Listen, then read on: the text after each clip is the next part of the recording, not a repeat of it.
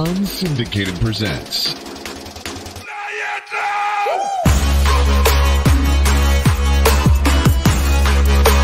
the air with Sean Baligian.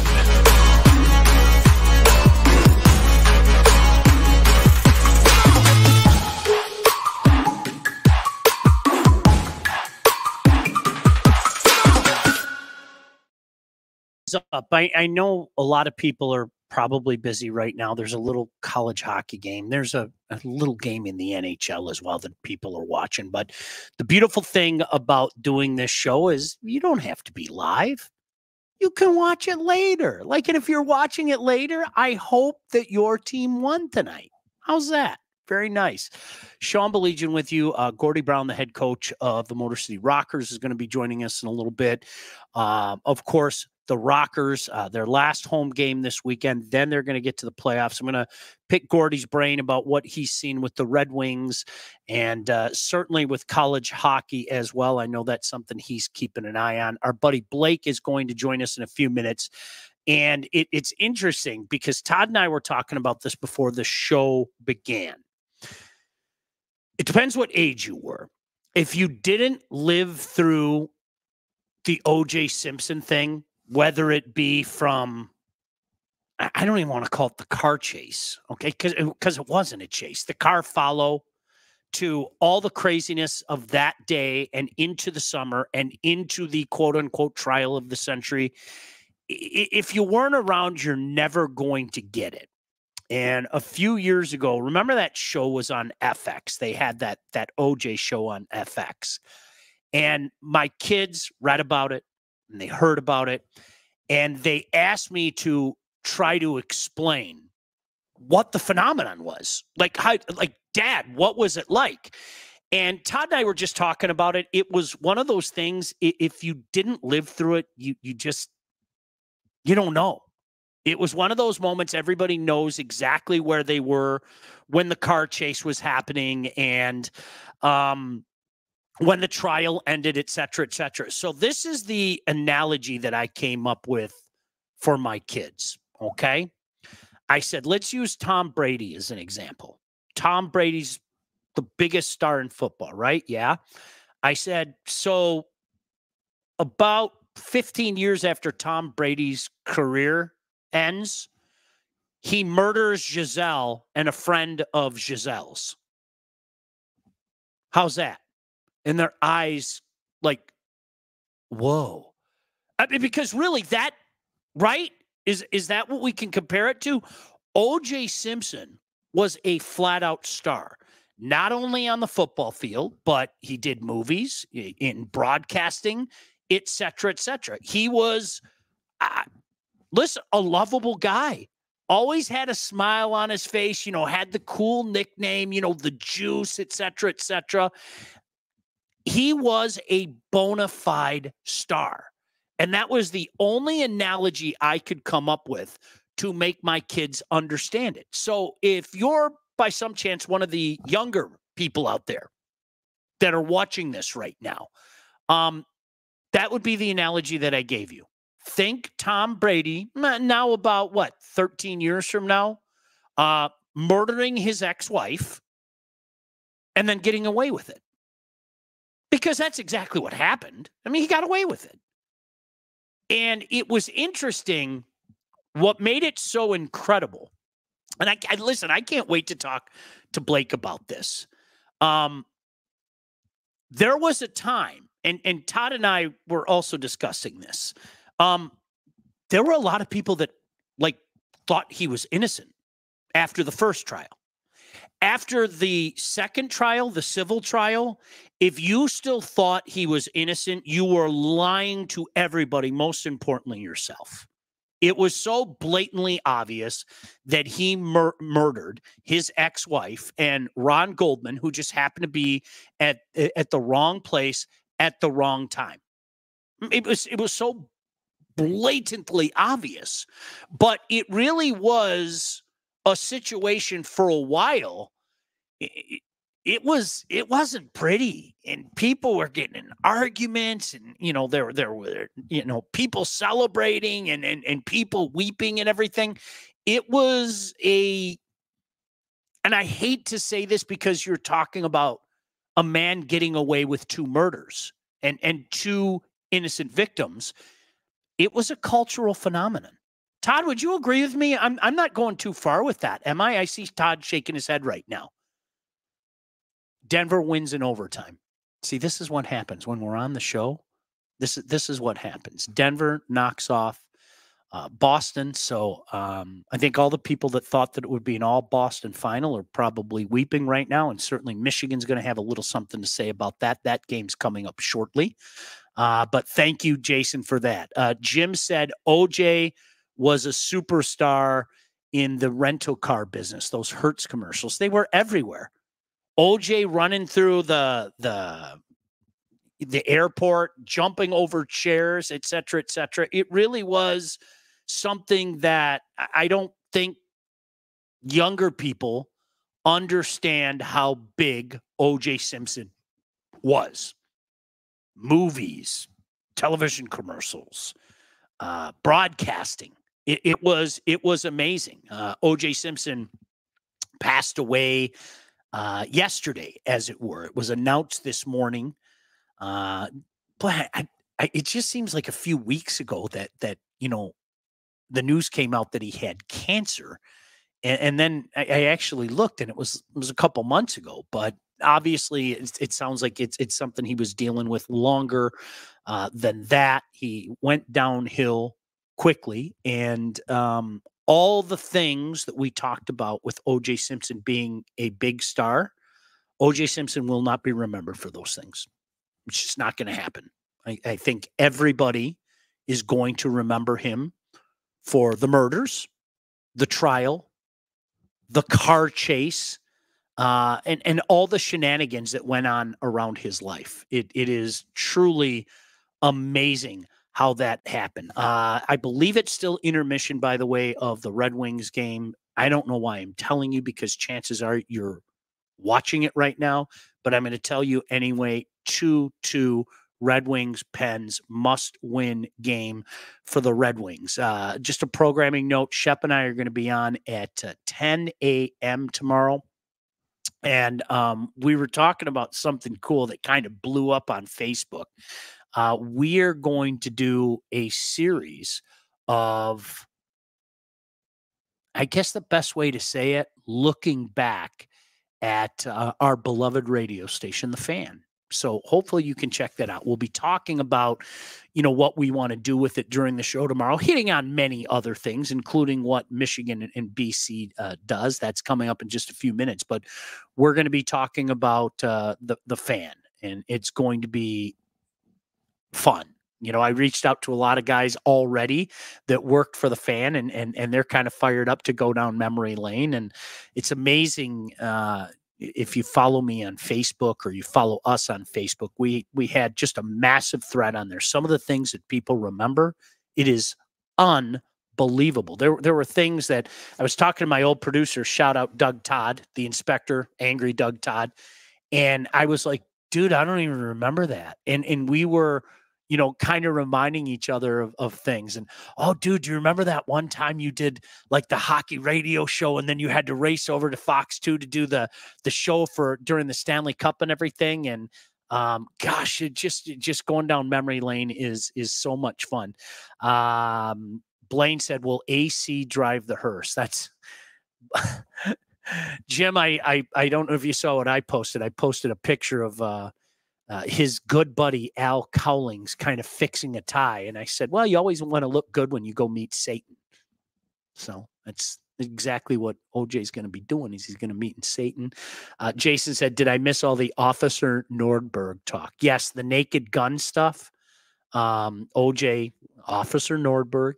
Um, OJ was a big part of that. It was, and, and Jason and Jim, you guys are, you know, of the older generation. You you guys both know this. It was it was insane. It, it, was absolutely insane. And, and and there were there were so many moments where you're like, is this really happening? Like that night, that night, you know, you have the NBA finals, you have an epic uh, uh, Stanley Cup series going on at the same time. It's a Friday night, you know, summer's just starting.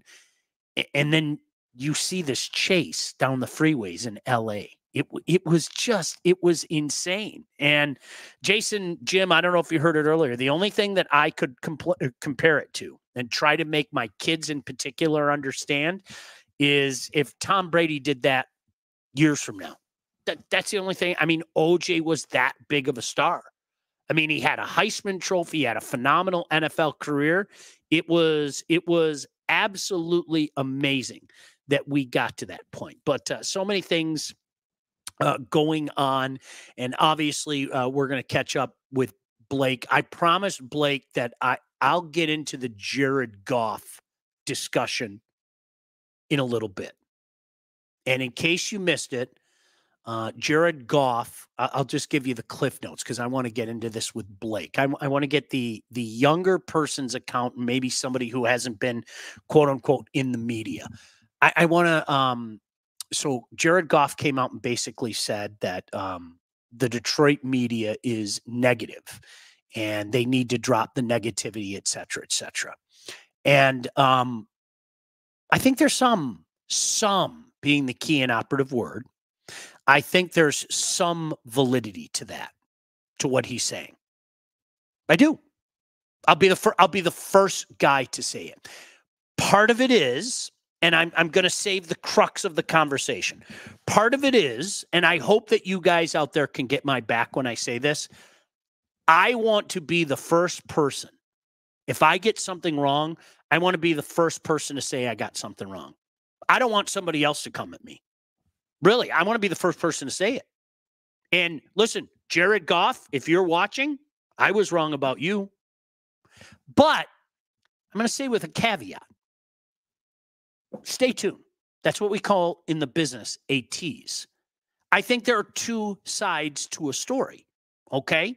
And I think that Jared Goff and a lot of uh, the people that support Jared Goff, quite frankly, aren't looking at the other side of the story because there are two sides to the story here. Is is he right that people have no reason to be negative about the Lions right now? Absolutely. No question. Zero zilch nada. How can you? They won a division. They won a couple playoff games. Um, how can you do that? I don't know. So that's something I, I I'm intrigued to hear. Blake was all kind of worked up about that, so I'm intrigued to hear Blake's uh, side, and I'm gonna throw the other side out there that I would say to Jared Goff, and I would say to the many people who still, and some of them watching this, I'm waiting for a wiseacre to show up in the in the chat and bring it up. Listen, I point blank said many times, Jared Goff is not the guy. Jared Goff is a bridge. I, I can't tell you how many times I said something like that. Are you ready? Here it comes. And, and and this is part of the problem because I think a lot of people in my business have an issue with using these words. They're three simple words. And your your skin's not going to fall off when you say it, okay? I was wrong. I was wrong. Better than any of us thought. Okay? So give him his flowers for that. Give him his due for that. But and we'll get into it later when Blake joins us. Uh, the flip side to that is a little word I like to use called ownership. There's some things that need to be owned as well, and, and we'll get into that. Uh, Jason said, Angry Doug Todd can't remember anything due to his blackout rage issues. He was an angry, angry, angry man. All right. As I mentioned, uh, really happy to be joined by this guy. Not only is he an outstanding coach, uh, he's been a buddy of mine for a few years. I'm happy for the success that he's having uh, with the Motor City Rockers, and and their season isn't over by a long shot. Okay, they got a couple games this weekend, including one at Big Boy Arena. Get out there, support the boys. Uh, but the guy that has been steering the ship, he is at the helm of this squad, is kindly joining us right. Let's bring you just want to walk people over. The coach of the Motor City Rockers, Mr. Gordie Brown. How are you, Gordie? I'm doing good, Sean. You, you, can't figure out which game I'm waiting for. I, you know what? That that's the the thing is, and I, am glad that we could talk to you before that other game started. Yeah. The cool thing about doing this, Gordie, before you came on, that's what I said. I said, you know, I understand a lot of people are watching the Wings right now. I understand a lot of people are going to tune out in regards to uh, what we're doing when Michigan comes on. I don't blame you at all. You can catch the show later. Mm-hmm. And Gordie, before your beloved Michigan Wolverines start, I'm glad we get a chance to have a conversation. How are you, my friend? I'm doing good. I'm doing good. You know, it's funny because it's one of those things now that you're in this position where you know a lot of these are recorded and people watch them later and they get their chance and they can kind of um you know skip through me if they don't want to hear me and they're waiting for Blake later um to discuss uh, Jared Goff or whatever but at the same time I'm watching the DU game earlier. You know, I've got it on. I've got the Wings game on. I'm waiting for the Michigan game. I want to see what Washington Buffalo's doing. You know, I'm studying film on the next teams for the playoffs. It's all hockey, so it's it's fun um, and, and to get ready to go. So this is this is nice that we can uh, take a little time and talk about all kinds of hockey. Well, yeah, twist my arm a little bit. Uh, Gordie knows a little something about hockey. You know what? I let me let me start with the college because obviously you're you're jacked up about the Wolverines and rightfully so. Coach Naurato, you got to give him credit for getting them to this point. just a few weeks ago, there were people out there wondering if they even got into the tournament, and here they are uh, in the Final Four. Gordie, I feel when I looked at this Final Four that there was if there was one team that might be able to knock off the wagon that is BC, mm-hmm. it was this Michigan team because of the talent that they have. Listen, BC's a favorite for a reason, okay? But I think the talent that Michigan has, if there's one team that can knock them off, I think it's the Wolverines. Well, I think you have the, the four teams that are represented right now are very skilled. Uh, obviously, BC with all the draft picks um, you know, you turn on NHL Network and you hear them with the Final Four talking about all these guys that are NHL potential and where can they go and who can they help in the next year or two if they're not already drafted by somebody. But what I kind of noticed this year with Michigan was they didn't really start playing defense until I don't know, maybe the second weekend of February. And you could see that start to turn. Um, you know, went to the overtime game when they lost to state and that that great battle uh, for the Big Ten championship. Um, you know, it was a tight game. I mean, when Larson scored that power play goal at the time, it, you know, it, this video's in my head because I watched so much video, but the four guys from Michigan off the faceoff overcommitted outside the dot. All of a sudden, Larson's just standing in the slot yeah. by himself. Puck, puck takes two bounces to him and he gets it off real quick. And, and it's there. But those two quick goals, you know, they didn't stop, right? They come right back. And after they scored those two quick ones, watch their defense. Watch how they defend. They're everybody's back. Everybody's making sure there's nobody getting behind us. And, you know, that's what you, I hate to jump around, but that's what you kind of saw.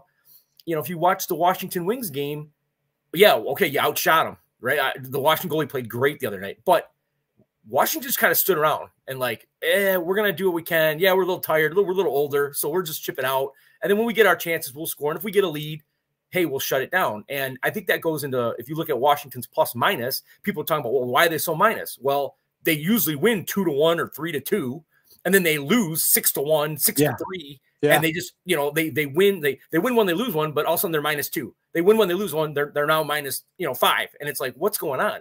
But yet they're still in the hunt. So you you start to see these teams like okay why why are guys saying it's a playoff feel right now for any of these teams because they're all starting to play defense yep. and then they're defending and now you know I get involved in a little bit of the of the of the betting that's legal and I sit there and go, watch, start watching the unders. You watch the overs early. Now you're watching the unders um, because, you know, you'll see that six and a half is a magic number. We'll wait till the playoffs. All of a sudden, you'll start seeing your six and a half to a six, six to five and a half.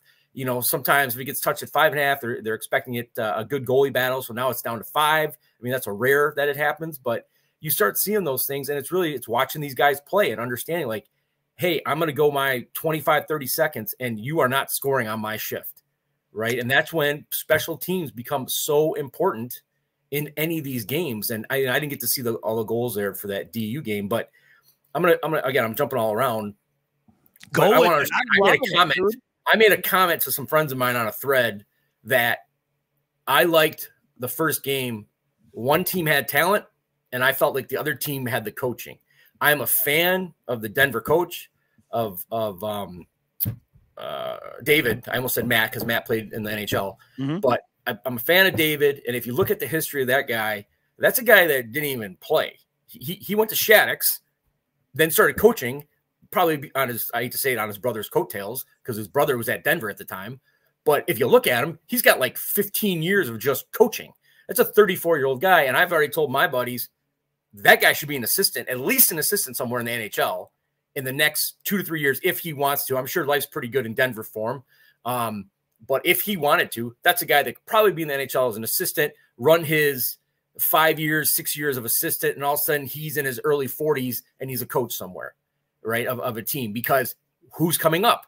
All the college guys that he's been around at the World Juniors and and going to events. So they start seeing him and they respect him and they go, okay, now we've been in the league five years. We want this guy to coach us.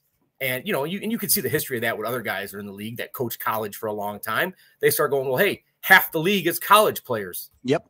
Let's let's get them here. Um, I just glanced over, Sean. Looks like three two, and everybody's tapping uh, Sid the kid. So I got to let my wife know the baby's. I just looked at goal. the phone too. That's, by the way, uh, Gordie. One of the things that makes me sick to my stomach is is the people around here that still I don't know live in 2008 and 2009. Yeah. Sidney Crosby is an absolute treasure to the National Hockey League, yep. and I've had people, oh, why don't you make love to him already? I I love watching Sidney Crosby. I, don't think he gets the credit that he deserves as a coach, as a student of the game it's everything that Sidney Crosby does. Seriously. And I, am not I'm not going to build an altar to him, but oh my goodness, drop it already. The guy's a phenomenal hockey player. I'm sure I'm sure you would have proposed to him if he was a hab for life. But um I think he gets that here. And there's probably a couple other towns that treat him that way, but other areas that are, you know, that are I mean, obviously the Eastern Conference has dealt with him so long, but I'm sure the hockey fans in Edmonton, Winnipeg have no problems with him. Yeah. I'm sure the ones, you know, even Colorado and, and Dallas have no real no issues with him um, that are hockey fans because they understand what he brings to the game. They understand the dynamic. They understand how long he's been playing. Um, I heard it today. Somebody was talking about, you know, the concussions he's had, how long he's, how many games he's missed because of injuries, and he keeps coming back. Mm-hmm. Um, the guy likes to compete. Uh, who hasn't he made better around him? 100%. Right? Who hasn't he made? Everybody, oh, hey, I got traded. Oh, I'm going to go have to play for Pittsburgh. Who, who they putting you with? Uh, this, this Sid. Great. Well, you're going to average a half a point a game. So yeah. just make sure your skates are tied and go to the net and you're going to, you know, you're going to get a point. Right. So there's always those guys. And he's one of those guys that, that can do that. And I know when guys get traded away from Pittsburgh that have played with them, it's, oh, will that guy be able to do anything without Sid? And usually they can because now they've they've spent five, six, seven years. They understand how to play in the NHL. So Sid's the bonus point for them, right? But they typically got to get rid of somebody because they can't afford them and Sid and well and Malkin and everybody else. So um so it's you know it's good to see it. I got I mean I got respect for the guy, but you know it's it's uh you know we know the history, right? So absolutely it, it is what it is. I mean I'm sure I'm sure there's a few Pittsburgh fans that don't like some of the wings uh in those back to back years, right? So yeah, uh, Brett do? asked, "Who would you take, uh, Ovi or Sid, if you could pick one?" It's it's. I don't want to say it's easy because I I, I don't want to be disrespectful to a guy who is a goal scoring machine. He's mm-hmm. he's up there with Mike Bossy in my lifetime for the term pure goal scorer, no mm-hmm. doubt. But uh, Gordie, I'll go first. I'll take Sid. I have no problem saying it. um, I mean, I it's funny because I would I said I would say early on I would want Ovi just because uh, there was a stat the other day how many hits he's had, how many goals mm-hmm. he's put, he's performed, and that physical play when those two first came in the league was a lot more prevalent. I mean, you weren't really going to take a run at at Ovi because he would just give it back, and you would probably get injured when he was listed at 225 pounds, but really was coming in at 240, 245. Um, you know, there's some other guys in the league that they like to hide their weight. Uh, shout out to Dusty Byfuglien, but um, you know, oh yeah, he's 240. Really? Uh, there's a other other guys that look like rails that are 240s next to him. So yeah, you know, you never bought that story, but um, you know, I'm I'm I'm a I don't want to say a Sid fan, but I got much respect for Sid. I mean, he's just done so many things, and then you know, he does all. I mean, they both do it. They're all in the community and they give back, and it's they get the accolades and it's not about them. You know, they don't, hey, great, how are you? I'm just, I did my job and, and, you know, I'd do it again. Uh, I think that's a quote from something, but, um, You bring up a great point about Ovi. I think people forget. Do you remember how much Malkin used to cry I Mm-hmm. mean that that was that was an ongoing bit because Malkin literally used to say, "I thought Ovi and I were boys. Why did he hit me? What, Yeah. what, what, what do you mean? Why does he Yeah. hit you? It's hockey. Like what, Yeah. what, what do you take? You can still be boys and give it to your boy on the ice. And Yeah. um, uh, my goodness gracious, the the physicalities. Uh, my buddy Raymond said, "Coach, I met you last year at Freddie the Pizza Man's restaurant. I offered to be the 62 year old e bug." Uh, This- so this is true. speaking of giving back, I, I know uh, our mutual friend Freddie the Pizza Man. You Yeah. you guys have done so many good things, uh, Gordie. Yeah. Uh, sensory rooms and and and helping out. That that's awesome. An opportunity for you to talk about some of the things that you guys have going on.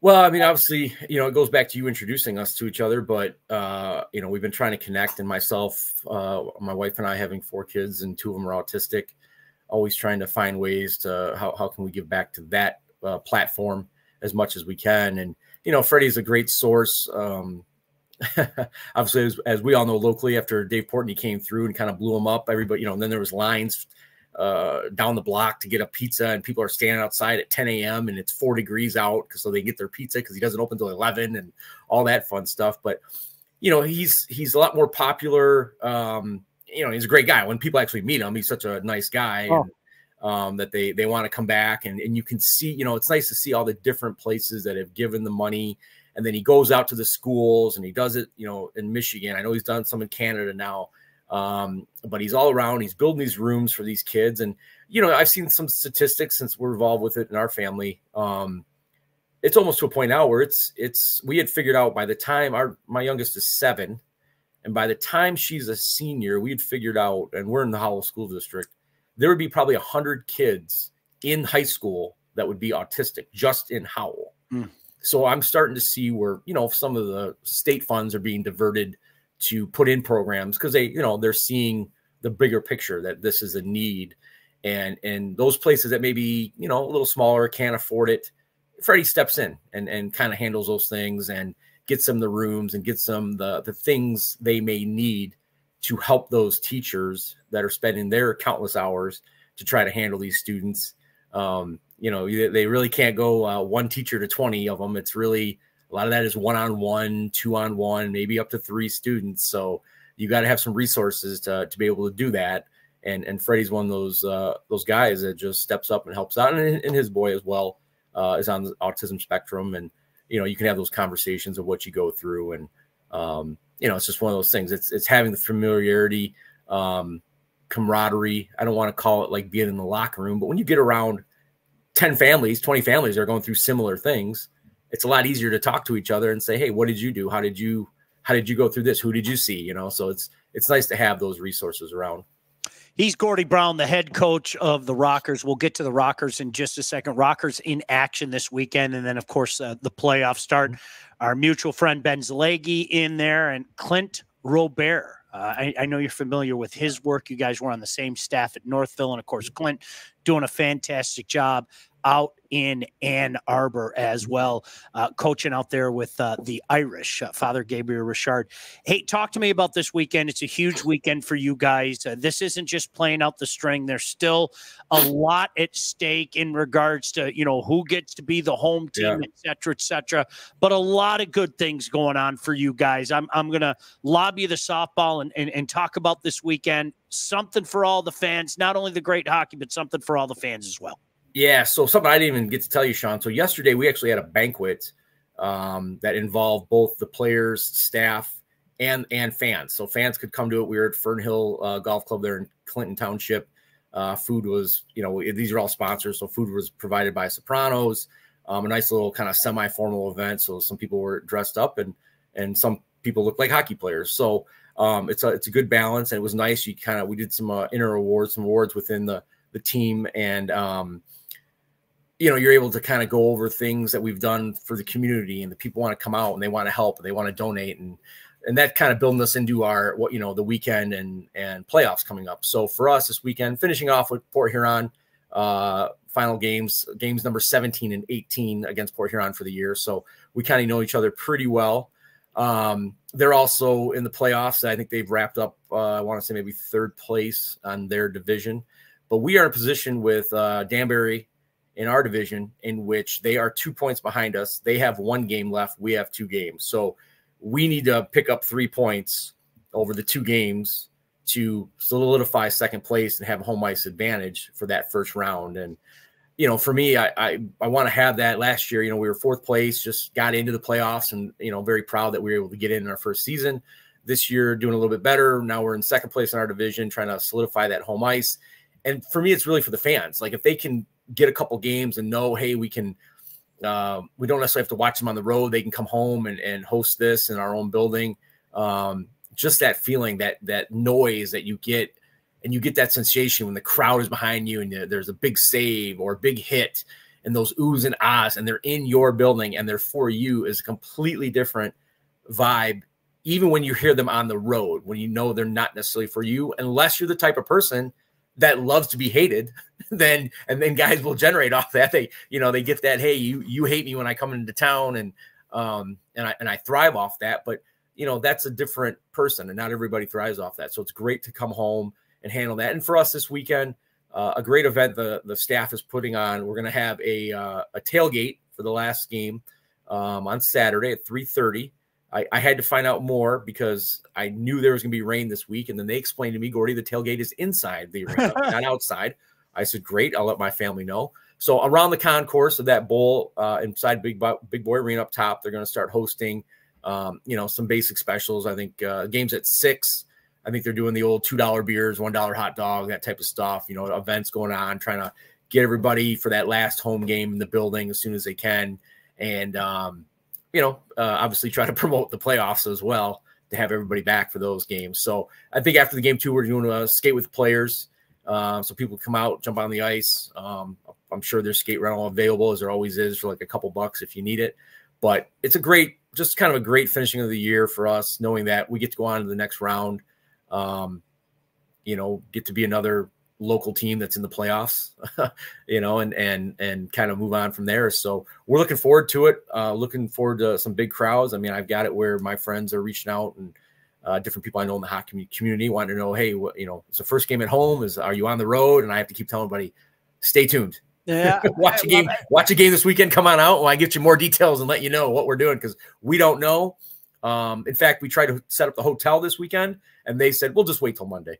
I was one of them. I, I hit Gordie up because seriously, I, I, I said, you know what? I want to bring Todd and Mike and Blake out there for the playoff games, and um, you know, uh, hopefully we get that opportunity. But in the meantime, it's a huge weekend for you guys. You guys got to finish strong this weekend. There's no doubt about that. Look at Jeff jumping in there, Prowler Nation. Hey, I love it. You know, get a little rivalry going, right? I, yep. I, I, think it's it's a beautiful thing. All right, couple things. Uh, I, I got to put you on the spot. Uh, how, how's your beloved team going to do tonight? How's Michigan going to do against BC? Well, uh, I'm I'm more interested. You know me now as as getting involved in the tactical side of it. Um, I'd like to see what the tactician is. I mean, that's what I wanted to see in that Denver game. Is what was Carly? What was he going to do? Well, how yeah. were they going to do against all that talent? And guys just work so hard in the D zone. I you know I, did, I haven't seen the overtime goal, see how it was generated, but um, would love to see, you know, how long that that overtime went, and and that's what you're getting into is is tactics and plays, and how hard are you willing to defend, and you got to watch some of the getting amped up, you know, where you end up taking a stupid penalty because you you got a little too much adrenaline. Um, I, I mean, I I think they can pull it off because I'll be honest, I I didn't think they were gonna beat State, to be honest with you. Um, so when they beat State, I was like, okay, well, they can play defense. They've changed their plan and it's worked. So why not change it again? Yeah. If you have the players that can think with the IQ and you can just make a change during the game, media breaks, all the extra time you get, why not? Right? Yeah. Four two, four two. Um, and so I think I think they got a shot. I, I, I think it'll be it'll be a great game. And you and I know this still all comes down to goaltending. Yep. It's always goaltending. Always. It's, it's, if if you get a hot goalie, none of this matters, right? Like you can you can put up your 40 shots and it won't matter. Some guy will have one goal and you'll everybody will be like ooh and ah, and then and then you know two years later you'll see the kid playing in the NHL, right? So um I have a question for you. Okay. I'm i want to get I wanted to get your uh, opinion right. on where at the beginning of the year did you think the Wings were going to be? right around the same spot that they are right now. Okay. I thought just on the outside looking in, and I think that's exactly where they're going to finish. I think Well, it's I- funny because like to me, the experts, and I don't want to give Elliot Friedman too much credit, but it seems like guys were between talking about the team would be between eight, nine, and ten. And they had a, a good run kind of in the middle this year. And everybody was talking, About, we were used to last year when they lost to Ottawa. And all of a sudden they're like, okay, this is our shot, this is our shot. Where people that weren't really following hockey around here start going, okay, yeah, they're winning again, they're winning again. Then they go on a, a down streak. Then they have an up streak. And then obviously they all thought they're going to beat Arizona twice and do all that. But to me, like I believe what everybody else, they were 9 10. And to me, all this has done is it's the regression is back to the mean where they should have been. It- like they're kind of lined up. Now, we all know, we all thought who was going to take a jump? Yep. Buffalo and Ottawa. Yep. Now, most people I probably didn't think Ottawa after, you know, DeBrincat came here, but like both people were like, oh man, New Jersey, you know, Ottawa, who's going to fall off? Washington, Pittsburgh. Well, guess what? Those guys have so much veteran experience together that here they are again. They're still hovering around, and I, you know, I believe we all thought the Islanders were going to be better than they were too. And that's why this division was like, oh man, this this division's going to be nuts. This and it's still kind of nuts. We're coming down the, to the end here, and your Habs are probably going to affect a lot of this. So you, you, everybody's still involved at the very end, which I'm sure the league loves right now. But I still thought this team the whole time was probably a 9 10, and I believe most people did. So, like, when people are like, I, I guess I'm going to this. Why would they talk about getting rid of Lalonde? I mean, trust me, I know there's other guys out there, but like, what has he done? You wanted to get rid of Blashill and he lost players. Now you got another guy here that you have some guys, but guys have been injured. Larkin, I don't know why. Somebody has to explain to me why every time he's gone, the team kind of folds up. I, I, he must be really good in the locker room. I mean, he, he brings that center presence. He wins a lot of draws. Um, and and the injuries. We know there's injuries tonight. We know there's calls because there's injuries tonight, right? So if we all thought he was going to be 9-10, why are there people wanting Lalonde's head? Now I'll give you he might be hot next year, but even if they have some type of improvement in the offseason, what's their goaltending situation? It's not consistent. What's we all know the second pairing, a lot of people aren't happy with. Uh, you know, uh, you get a lot of guys chirping about a former pitcher's kid playing defense for the team. And I'm like, eh, that guy does what he's capable of, what he's being paid to do. So I don't understand why there's so many people that want Lalonde's head or some things when I get there's some some pieces that need to move on. But like this team is a 9-10. They're gonna end up 9-10, maybe by a point or two. But how how do you put that on the coach? How do you put that? And I I just I think Lalonde should keep his job. They're exactly where they should be. And by next year, they're hoping to be a six seven. I think people are victims of their own expectations. I, I have said it forever. I mean, this Yeah. this is a conversation I remember having this almost five years ago when Steve Yzerman was hired, and and it's almost five years. Gordie was hired on April nineteenth, twenty nineteen, Mhm. and he flat out said, "Guys." This isn't going to be easy. I'm going to need you to be patient. He, what he didn't say is there's no, uh, you know, Victor Hedman and Steven Stamkos here, Mhm. and this is going to be a process. And this isn't about just getting back into the playoffs. It's about getting the Red Wings back to that point that we were all accustomed to. Mhm. And, and Gordie, what he didn't say, but anybody that follows this game knows, is that's generally generally called the five-year plan. We're not even five years in yet. Mhm. To me, the clock starts in the fall. Get, give him his five years. Let's see where it is, and then we can have conversations about how close they are to that point, or we can have questions uh, about uh, coach. We can have questions about this, that, and the other thing. I think that people are victims of, of their own expectations. I've, I've said it then, I say it now, and you know that's that's where we're at right now. You know, I mean, eh, like honestly, everybody, like Todd said, can't blame Steve. He's sacred. They need somebody to blame. Yeah. I- and and you know what? To me, go stand in the mirror. Look at yourself in the mirror. This team wasn't going to be ready yet. Uh, come on, like knock it off. You know. Yeah. So So I just I I you know I see the other side of it now, right? So I'm just like I how do you blame these guys? I don't get it. So No doubt. Hey man, Um, good luck to you this weekend. Uh, we're it. we're rooting you on. We we definitely. I want to take the boys, Todd and Blake and Mike, out to to see you guys. Oh, look who just showed his Hey. lovely face up as well. But uh, Go blue, coach. there he is. I Ready saw the go. mask and everything on my drive home. I loved it. Nice. We're ready to go. all We're right, ready to good, go, buddy. good luck to you this weekend, and yes, good luck to your boys tonight as well. Hey. How's that? I appreciate it, and uh, you know, let me know when you guys want to come on out, get you set up uh, for for a game or two, and then um, can't wait to sit here and listen to what Blake has to say about Jared Goff's comments.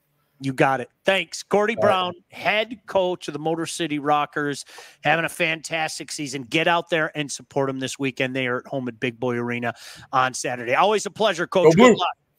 All right, Gordie Brown kindly joining us. Okay, Jason, you made me laugh. Jason put on the screen uh, Sean and Sidney sitting in a tree. Or no, hold on, I gotta I gotta go back on it because that was Jason. I remember you and the boys giving me a hassle about ten years ago about my love for Sid the Kid.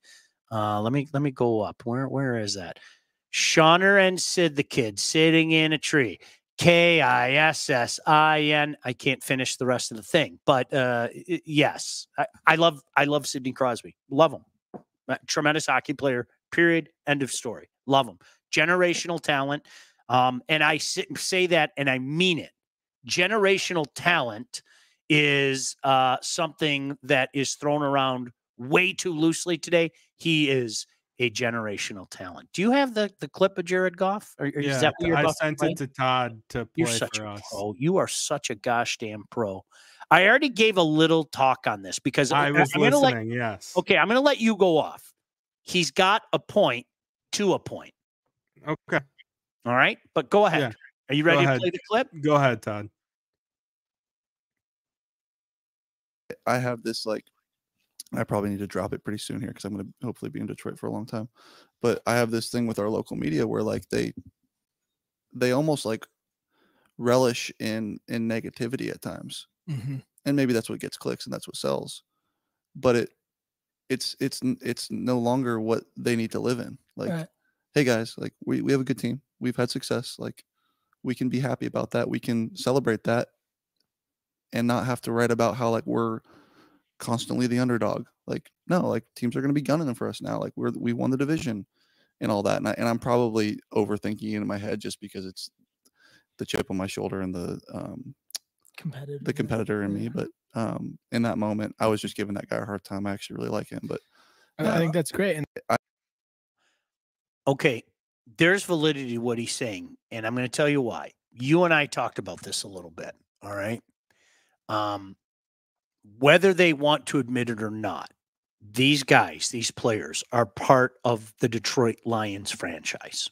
Mm-hmm. The Detroit Lions franchise for my entire lifetime has taken my heart and spit on it and pissed on it and crapped on it and put it on a steak and smoked it and seared it and grilled it and and destroyed us in every way shape and form now okay these guys shouldn't be held to the sins of lions before them. The only way to change that is to win. They have won, they have had success. He's right.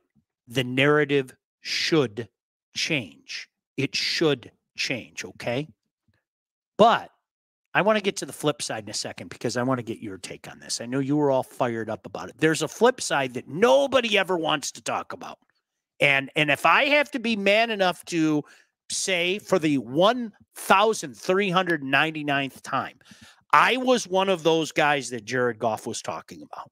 I was negative about Jared Goff. I did not think that Jared Goff was the answer. I did not think Jared Goff would be here. I did not think that Jared Goff was anything but a bridge.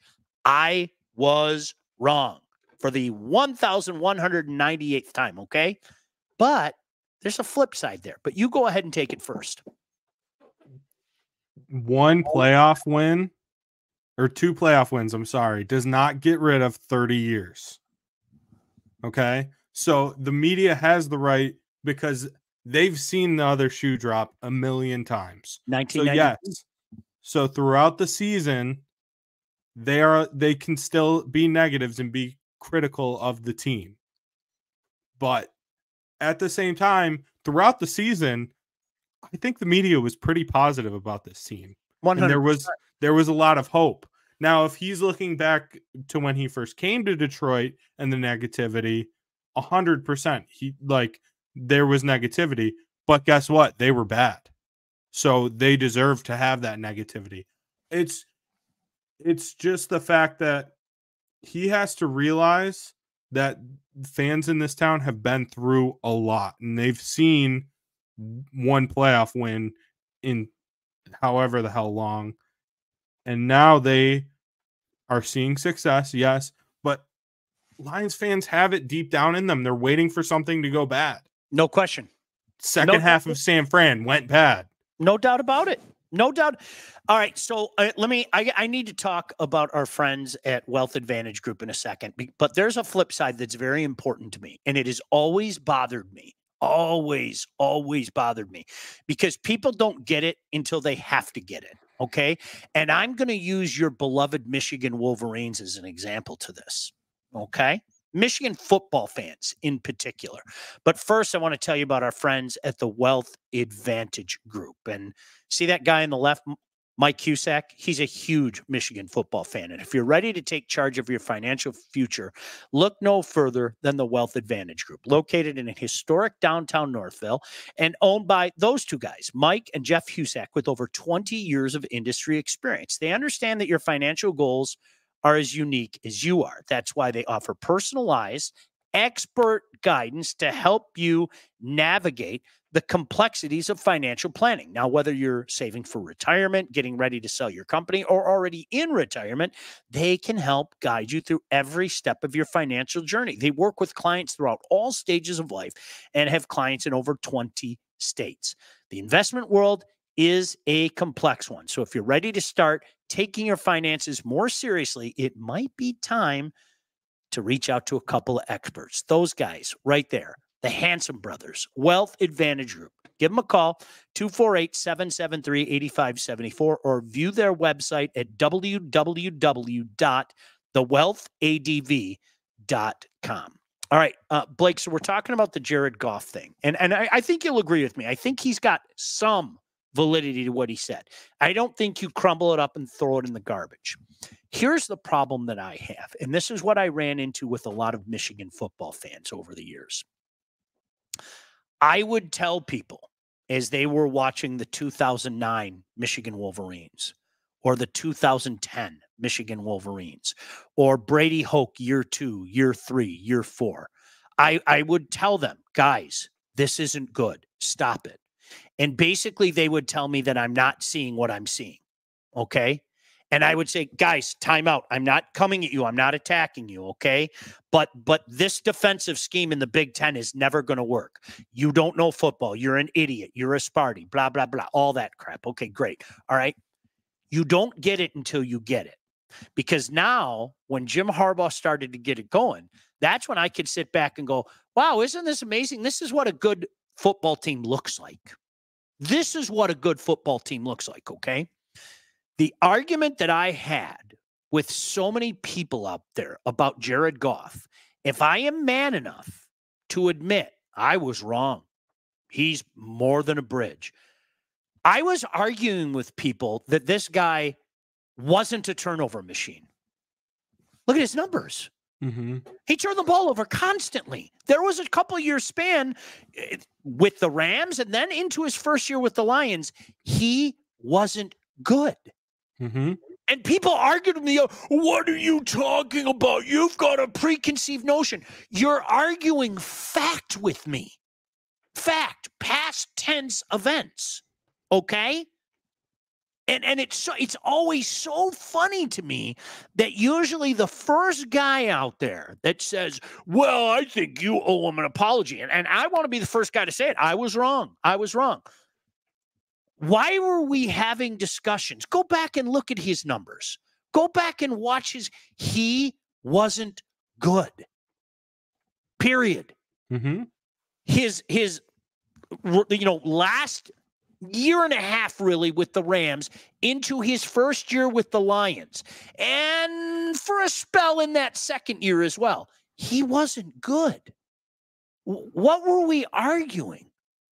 What what what were you arguing with me? I, I can't now if you want to say I knew he'd be better, okay, you were right. But that was the, the argument was never that. It was always he wasn't good. Here's the crazy thing about covering sports. And those of you that have have listened to me for years or watched me for years, I am flabbergasted why this isn't understood, okay? There are some people out there with an agenda. Make no mistake about it, okay? both good and bad.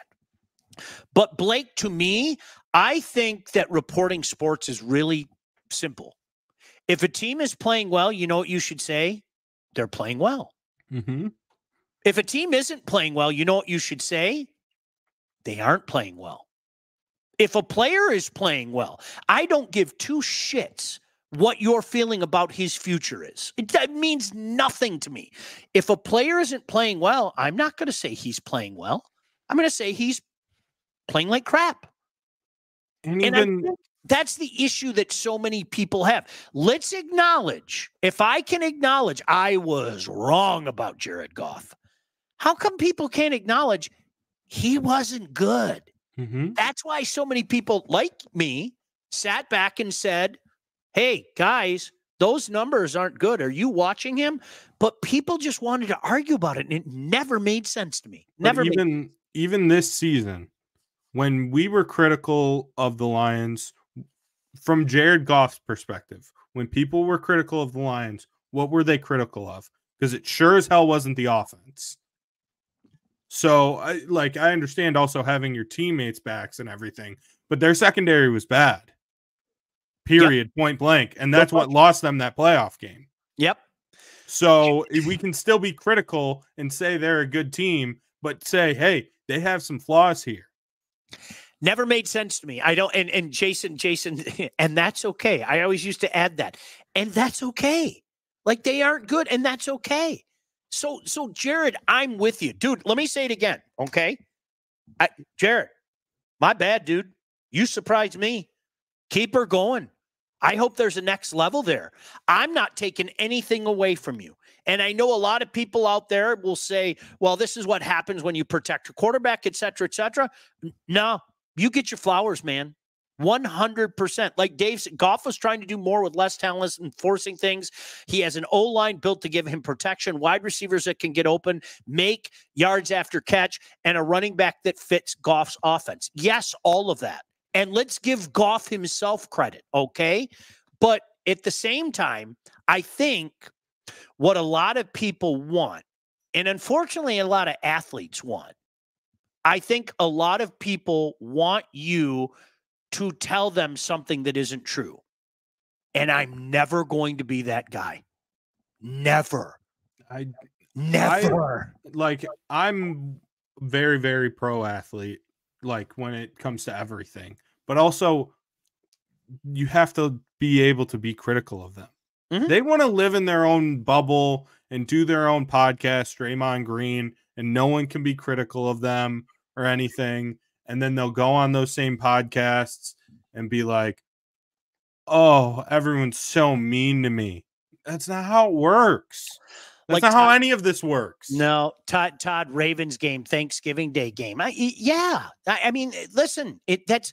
I'm going to tell you a quick story, and I don't know if you know this. I think some of you guys know this, and I hope that he uh, doesn't get upset with me saying this. I consider him a buddy. We we talk a lot. Uh, there's a certain goaltender, a much maligned goaltender in this town by the name of Chris Osgood. And uh, I used to openly say that Chris Osgood was a passenger. I used to say it all the time. I used to say that Chris Osgood was a passenger on that great 98 team. And it wasn't like he lit the world on fire or anything when he went on to the Islanders and went on to the Blues. And uh, Chris Osgood doesn't deserve to be in the conversation with top goaltenders in the league. Said it a thousand times on, on the radio, okay? And on television. Chris Osgood completely changed his game. I think everybody knows the story by now. Changed his style, went to the butterfly. In 2008, the Detroit Red Wings do not win the Stanley Cup without Chris Osgood. I say it all the time. No disrespect to Hank Zetterberg. Chris Osgood should have been a near unanimous choice as the Conn Smythe Trophy winner. And then he took a team, people forget in 08 09, that was really struggling. He came back and he took them back to the finals and this close to winning back to back finals. At that point in time, I have no choice, zero, none, but to say Chris Osgood has been unbelievable. Look at what he's done in his career. He changed himself. He won a Stanley Cup for the Red Wings. What what else could I possibly say? And and Blake, true story. Chris, don't get pissed at me. Um, Chris pulled me aside one day, did one of these, and I thought, okay, I'm going to get bitched at. Uh, Here it comes. I'm going to get bitched at. And you know what he said to me? And and he, Ozzy's such a nice guy. He goes, I used to bleep and hate you. And I was like, oh, this ought to be good. And he goes, you know what? I got respect for you because you, like, you called it like it was, and and you you said I was wrong about this guy, and I I, I said thanks, but I'm just doing my job, man. Like, Yeah. Unfortunately, there are people in this business that that are incapable of doing that. And and if it sounds like I'm patting myself on the back, then sure, I'm patting myself on the back. But I've I've always said I've got to be that guy. If I'm wrong about something, I, I want to be the first guy to say it and everything. And you know, Chris has become a buddy, and and I think part of it stems from maybe he understood that yeah I, I i had a job to do and it doesn't mean that i was right but i had a job to do and sometimes a guy deserves flowers and sometimes he deserves giant bouquets and i Mhm. couldn't give enough flowers to a guy like chris osgood for what he did in 2008 and 2009 and you know listen jared goff if there's a next level there for you it'll be the same thing for you I, I, I promise you. I if you're not playing well, I can't say you're playing well ever. I can't. Mm. Sorry. he- the other thing from my perspective is is like I've listened to plenty of interviews of Jared Goff. I've listened to his post game stuff, everything he does in the community, everything about the guy. I'm like, this guy seems like a very like self aware, funny dude, like good guy, everything. And uh, so overall, I really like Jared Goff, like as a person and most of what he says. But this just seemed to me like totally out of touch, like with where he's at, it, from my perspective. I think Blake, the best thing you can do is um when you arrive at the top of the mountain, it might be time to have those kind of conversations. You're not Yeah. there yet. Are we excited about next year? Absolutely. As somebody who lived through the transition from 91 to 92, do I think that's going to happen again? Absolutely not.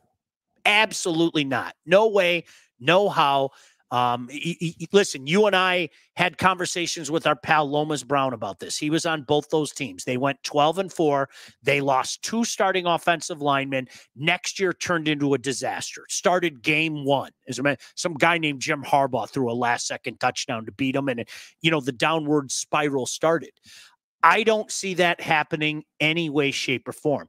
So, guess what? If you take that next step, maybe then you start having conversations like that. Maybe Also- then. Also, not to be negative Nancy here, but if for some reason, and I agree with you, like their roster stacked, everything. But if there's one thing that can fall apart very quickly and turn this into a pumpkin, it's him. So just read the room a little bit because if he turns back into what he was, that that's not. It doesn't matter. You What? to win in the NFL today, you have to have a quarterback. Todd brought up the Ravens game in Thanksgiving. Did you remember the game we were talking about it? I said, "Uh oh, Jared Goff is seeing ghosts again." Mm-hmm. and I don't remember what game it was, but I, re- I remember vividly talking about that. Uh, by the way, Blake from the Mitch Albom show on 760 WJR and Sports Rap. But I, I remember I brought that up to Lomas, and he was like, "You're right. You, you know, they, they- it, when he feels the pressure, whether it's real or imagined, there are some Goff moments that happen." Mhm. Now they're happening less frequently. Okay. They are. Give again, give him his credit. But when they pop up every now and again, you're talking about Detroit Lion fans who are, whether you want to admit it or not, they're waiting for the other shoe to drop. Yep. Right or wrong. That's part of our DNA. Okay. Now I have to separate myself from that when I do this job. But little Shawnee Baligian sitting at home watching a game, I am the biggest goo goo baby in the world who's constantly waiting for the other shoe to fall. Right. So I think sometimes you have to understand where you're at as well. and it's also like he has to realize you're in Detroit now. We actually we care about sports, unlike out in LA. Like you're gonna have critics. Yeah. We care. Like it's all we got. Jason, thanks for the kind words. All jokes aside, coming from an original Facebook monkey, Sean are calling things as they are and admitting when he was wrong or giving people credit when it's due. That's why I'm still listening. The anti Skip Bayless. Okay, I joke. Thank you, Jason. Yeah, see, I can't. I- don't even like saying that man's name. I mean, he- he doesn't say anything that he believes. I mean, right? It's just, and It's unfortunately, I, I'm a firm believer. I think Blake that there are more sports fans out there like you and me. I think there are more sports fans out there like you and me that I don't want to. I don't want to um, be that guy, and I don't want to hear that stuff either. You know, I, I, I- just, I think they look. We can be adult and talk sports. We can without having hot take here, hot take there, and everything. I can't. It drives me out of my mind. I, I think there are more people out there like you and me in that regard. Yeah, and you're in the you're at the point in your life where you don't get as worked up as you used to. And I respect that. I'm the one I get worked up. Sometimes. No, you yeah, you do a little I don't. bit, I don't but- have temper tantrums anymore. I can't, I can't tell you the last. I, I don't have temper tantrums anymore. Okay. I can tell you the last temper tantrum I had, but I don't want to tell you the last temper tantrum I had. no, I mean, and you know what? If and I can get it out now, and I feel a lot better. And I and overall, I still like Jared Goff. I'm wearing the Jared Goff hat. This is like the hat he would wear in every post game presser. I like Jared Goff. Just read the room a little bit, man. No, I. I'm, That's I'm- all. No, I, I'm with you. Uh, listen, I, I have to uh, also tell you about our friends at Legacy Partners, if I may. Uh, did you know that thousands of Metro Detroiters have already called Legacy Partners to get help with their home and auto insurance? Our friends at Legacy Partners are one of Southeast Michigan's top independent insurance agents. They provide a full service, one stop solution for all of your insurance needs, whether it be personal, business, large, small. Listen, put these guys to the test. I've been saying it. Get your quote, give them a call, put them to the test. They are going to prove me right. Legacy has helped our listeners by fixing mistakes other agents have made, asking the right questions to get the right coverage put in place to properly protect you. And yeah, help save you some money. Chances are, if you haven't checked your policies in the last year, you are paying too much and you could be underinsured. What on the God's green earth are you waiting for? Give them a call 586 209 4106. It's 586 209 4106. Let them give you a quote. Doesn't it's not going to cost you anything. They'll prove to you what they've proved to so many others out there. Visit legacypartnersins.com. Get started with your new quotes. Can't thank the boys enough. Joe and Alex and Dave, thank you, thank you, thank you very much. Brett, thank you for the update. Pens 4 3 now. Is this a is it a must win or can't lose, Sean? Both. I agree. Both What was the last game though? Was it a must win or can't lose? must win. I agree. I feel like can't lose is worse, in my opinion. I agree with you. Uh, Dave Okay. said, I don't think the Raven game was his fault. The O line, which was great, had to move the backup uh, guard Glasgow to center, which uh, puts the backup at center and the third string at guard. It made a strength a big weakness, and the Ravens exploited it. Uh, David, I'm not going to argue with your logic. Okay. However, when a guy is seeing ghosts and is playing poorly, I can't say that he looks good.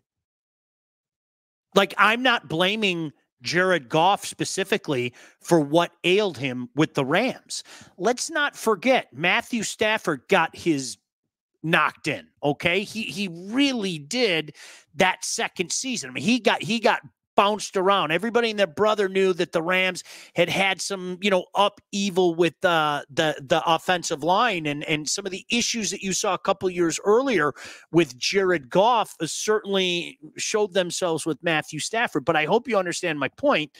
I I, I can't say after that game that Jared Goff looked good. And you're right. No, I mean, what quarterback likes pressure? Hey, man, I hope I'm pressured all game. No quarterback likes pressure. I think how a quarterback handles pressure is certainly something that can be on, you know, Mhm. a graph, so to speak. Yep. This guy here, that guy there. Jared Goff sees ghosts.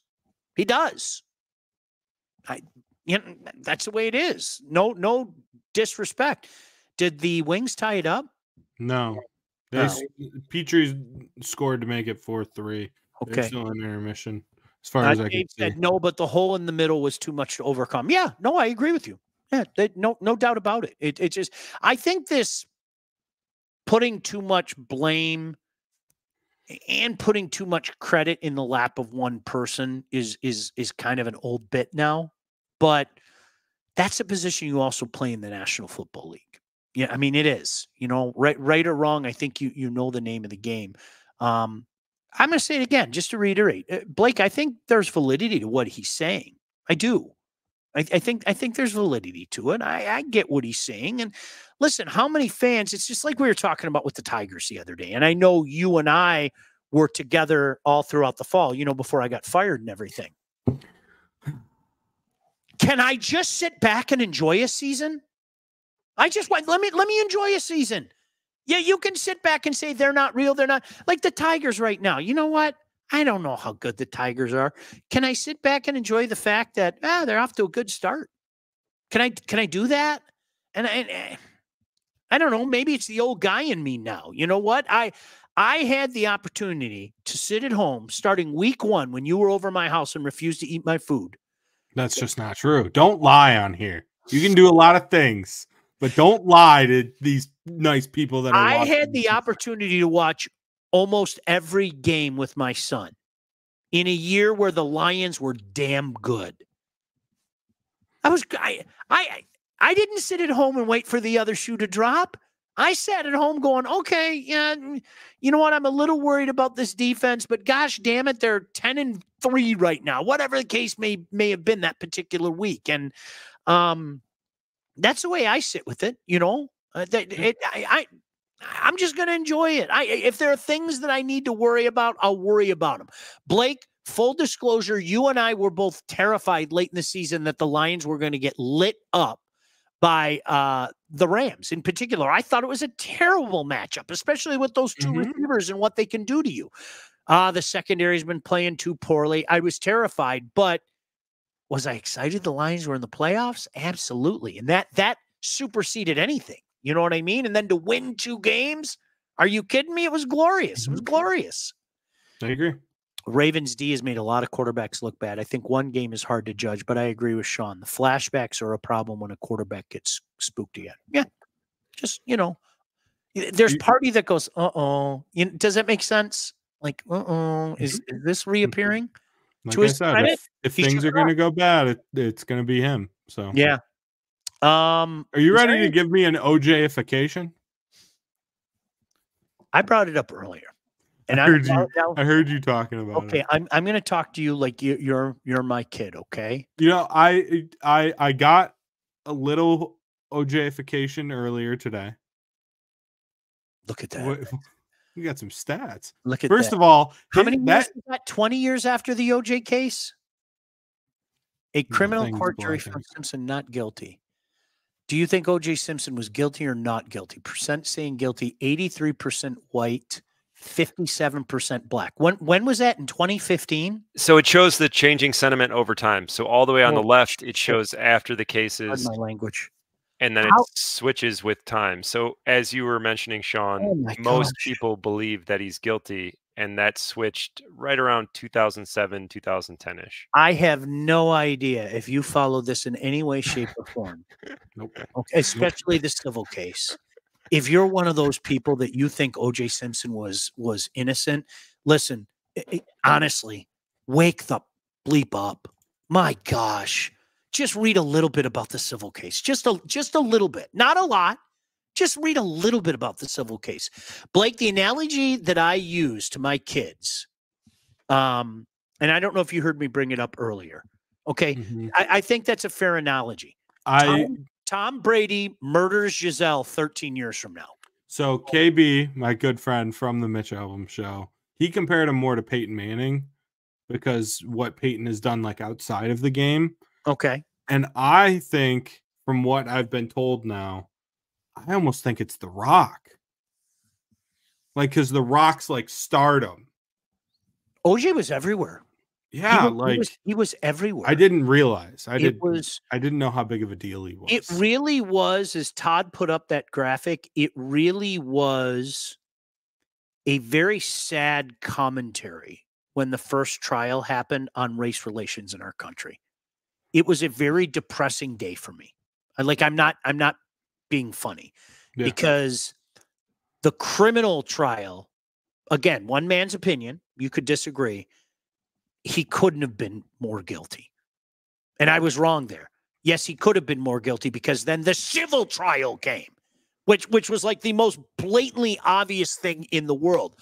But the reaction that people had from it um, was downright sad. It, it it really was, and um, that was when I first started at my old radio station in Toledo, uh, WSPD, and to say that that um, dominated the radio waves every show, not just the sports show, would be an understatement. Um, it was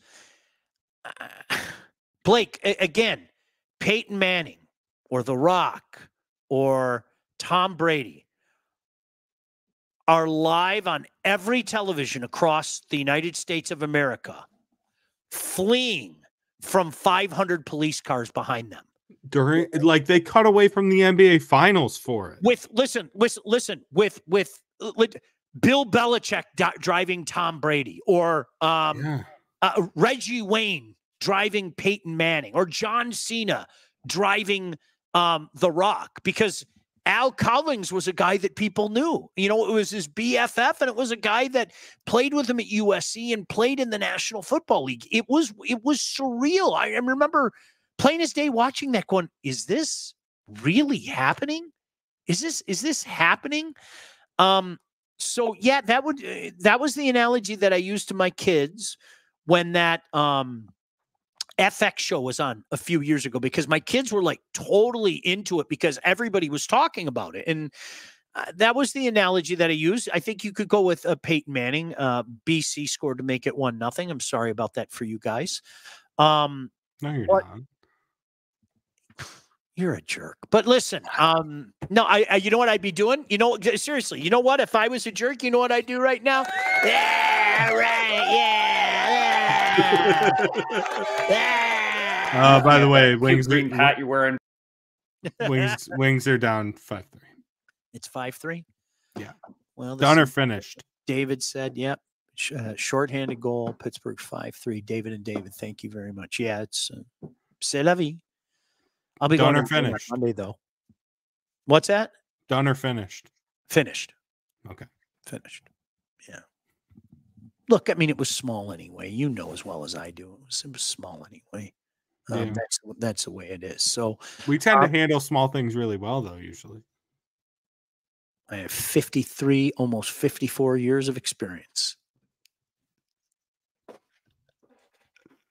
Oh, moving on. Is there anything else that you, uh, any OJ thing you needed to? No, I like as a football player though, and I don't know how much you like. I Very age age doesn't register well with me, but like I just saw his stats from the one the 14 games where he ran for 2,000 yards 2003, right? 2003 yards. Yeah. and averaged 143 yards a game. So Like my, that's insane. my dad, and it used to piss me off when I was a kid. My dad, when I would talk about how amazing Barry was, my dad, typical old man. You know what? You're just dumb. You never saw Gale Sayers play. You never saw OJ Simpson. I'm going to tell you, you know, you think you know everything. I can, gosh, I can see the, the old man doing that shit. Uh, boy, potty mouth, sorry. Um, eh, but for my dad, I can say that. Um, my my dad always said, like seriously, um, Jim Brown, Gale Sayers, O.J. Simpson belonged on like a different plane than everybody else. He and, and he took Gale Sayers down because Gale Sayers didn't, you know, play as long and had the knee injuries and everything. Um, the OJ Simpson that I saw was a broken down OJ Simpson. I, I remember vividly when he was with the 49ers Mhm. and he, he was he was broken. It was over. It was done. Um, but you know, obviously, I think the numbers and and the the the videos and things like that speak for itself. And um, phenomenal football player. Um, he was everywhere. He was in the Monday Night Football booth. He was in movies. He was in commercials. Um, just seemed like such a likable guy. He really did. You know, always had that million dollar smile on his face, and um, that's the way it is.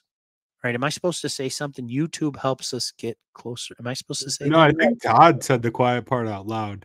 Oh, okay. That's all. All right. Thank you. Appreciate it. Uh, Brett said, just a question in general. What platform gives you the most publicity? Facebook or YouTube? Oh, okay. That was that was the answer. So Uh, thank you. We want we want to grow our YouTube. It's really important to us, and it will help Go us on, say something. term. Did I do good by the way? I was supposed to put out those did I like the links? Did I do that appropriately and everything? Yeah, I wanted you to put it on your Twitter, but you didn't. But See, I always screw you just something up. po- you just posted it on your Facebook. I always screw something up, don't I? But you'll do you'll get it I'll right tomorrow. tomorrow. I- I'll do it yeah, tomorrow. you're gonna get it right tomorrow. All I'll send you the link tonight after I post it. Before I get out of here, because I'm telling you right now, I'm going to piss myself. Uh, can we talk about uh, our friends uh, with the Broadwell team? Can we can we do that? Yeah, of course. I would love to. When it comes time to buy, sell, maybe you're doing both. You need to contact the right agent. That agent right there, Lindsay Broadwell. Your house is probably the biggest investment you'll ever make, and that's why you need a pro. Lindsay grew up on the mean streets of Northville and has expanded her team all over Southeast Michigan. She's an expert in all facets of business. When it's time to move, our friend Lindsay and her team will make sure you get the most out of your house and that everything goes smoothly when finding your new home. Buyer, seller, even first time buyers, it doesn't matter. That's the person to contact. Make sure you contact Lindsay at BroadwellHomes.com. She will help you with everything from start to close. Licensed realtor at Real Broker LLC. Start your search today at BroadwellHomes.com. All right, Blake, any final thoughts before we get out of here? Yeah, I would like everyone out there to learn how to read an Excel spreadsheet. It's very simple. And then you would know when you're supposed to get to work if that's how your schedule is sent out. It's a pretty simple format. You just line up your name with the fucking day of the week and the time. And then you know, oh, that's when I have to be there. And if there's an issue there, then maybe we get that figured out before, I don't know, 10 minutes after you're supposed to be there. Sorry. I just had to get that out. It's it's I was supposed to be home way earlier than I was. And I'm sorry for being late. Sorry to all the listeners and the viewers. That's that's what happens. You know what? The the the the people that say things like whatever you need are usually the people that have to suffer. Isn't that the way that it mm-hmm. goes? Yeah. Blake? Yep. So I'm I just wanted to issue an apology to our, all of our loyal watchers and listeners that I'm sorry for being late, but it was outside of my control. Rob said that's going to take some macros and a VBA script or two. Blake. I don't know what any of that means, but it made me laugh. All right. We'll see you guys. Uh, Shep and I tomorrow morning at 10. Blake, thank you. Todd, thank you. Gordie Brown, thank you. I'm going to thank my pisser in about two seconds. We'll see you.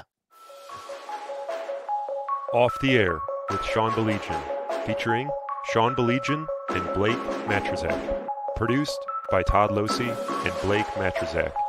Executive produced by Sean Baligian and Todd Losey. Theme song, incidental music, and related sound effects are from Play It Loud by Jam Studio. Engineering, mixing, and graphic design support provided by the unsyndicated podcast team. Don't forget to like and subscribe to Off the Air with Sean Baligian on all your favorite channels. While you're there, be sure to rate and review the podcast. Got something to say to Sean? Call the unsyndicated hotline at 248 237 3257.